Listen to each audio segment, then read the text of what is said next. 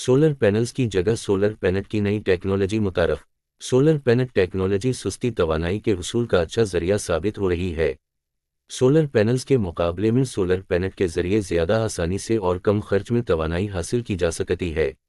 जदीद तरीन टेक्नोलॉजीज़ के ज़रिए तैयार किए जाने वाले सोलर पैनल में रोशनी के हवाले से हस्सा अरबों ज़रात शामिल होते हैं। सोलर पैनल वाली दीवार सोलर पैनल का किरदार अदा करती है। माहरीन का कहना है कि सोलर पैनल्स अगरचे बहुत कारामद हैं और उनकी मदद से सुस्ती तोानाई आसानी से हासिल की जा सकती है, ताहम वो खासी बड़ी इब्तदाई सरमाकारी मांगते हैं। सोलर पैनल्स अपनी तबई उम्र के ख़त्म होने तक लागत और कर चुके होते हैं, ताहम बहुत से लोग अपनी महदूद आमदनी के बायस छत पर सोलर पैनल्स नहीं लगवा पाते। सोलर एक्शन अलायंस का कहना है कि दुनिया भर में लोग सुस्ती तोानाई के हसूल के लिए सोलर पैनल की तरफ़ मुतवजह हो रहे हैं।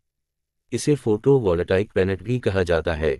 जिस दीवार पर सोलर पैनल किया गया हो, इस पर जब सूरज की रोशनी पड़ती है तो वो सोलर पैनल्स की तरह काम करने लगता है। इसके नतीजे में पैदा होने वाली तवानाई हासिल करने के लिए सर्किट लगाना पड़ता है।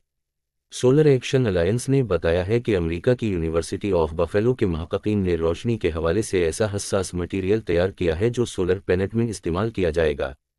कनाडा की यूनिवर्सिटी ऑफ़ टोरंटो के माहरीन ने ऐसा स्प्रे तैयार किया है जो बुनियादी तौर पर सोलर वॉलपेपर का किरदार अदा करेगा।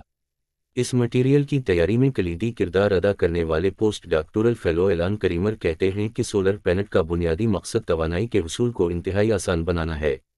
सोलर पैनल को तजारती बुनियाद पर कामयाबी से हमकनार करने की राह में बड़ी दीवार यह है कि सोलर पैनल सूरज की रोशनी से 20 फ़ीसद की हद तक तोानाई कशीद करते हैं जबकि सोलर पैनल अब तक 8 फ़ीसद तक पहुँचा है। माहरीन कहते हैं कि 10 फ़ीसद पैदावार यकीनी बनाने की सूरत में सोलर पैनल भी तजारती पैमाने पर ज़्यादा आसानी से काबिल कबूल होगा।